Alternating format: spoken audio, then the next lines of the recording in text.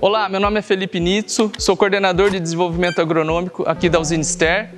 Estamos localizados no município de Cosmópolis, na região de Campinas. A nossa área agrícola possui aproximadamente 20 mil hectares de cana própria. E quando pensamos em matéria-prima de qualidade para a indústria, pensamos em materiais com a tecnologia BT.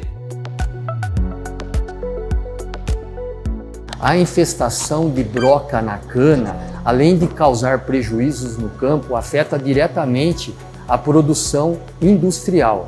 Na produção de açúcar, ela provoca o aumento da cor e a inversão de sacarose, além de causar o aumento no índice de destrana.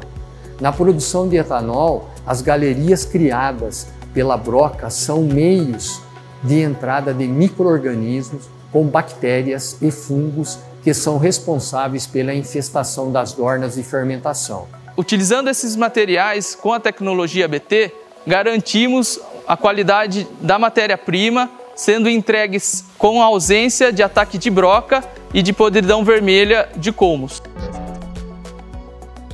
CTC Plante Certezas.